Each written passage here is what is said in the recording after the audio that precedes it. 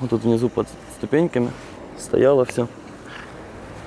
Уходил первый герой наш Змеевской. Сеня – позивний старшого брата Богдана Кузнєцова. Сергієві було 22, він загинув у боях за Донеччину 1 червня. Дней пять мы его искали. Хотя бы в больнице, хотя бы где-нибудь. Ну, и, к сожалению, нашли в морге. Богдан згадує, Сергій пішов в армію два роки тому.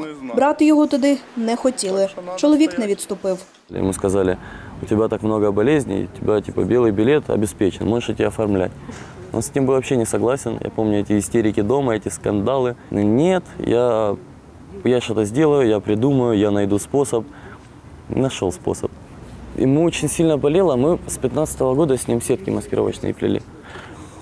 Эм, И каждый раз, когда там говорят, там парень, парень погиб, там раненый, там еще что-то, нам обоим этого сильно болело. Но Сенька был такой, он говорит, ну, я подрасту, я их всех там Слід за старшим братом захищати Україну став і Богдан. Служив він у Нацгвардії кулеметником.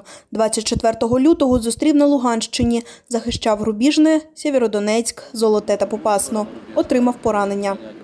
Ну вот у меня здесь дырочка есть небольшая. Это не шутка парикмахера, это была пулька. И респект Краматорскому госпиталю, все сделали классно. И тому, который зашивал голову, тоже спасибо.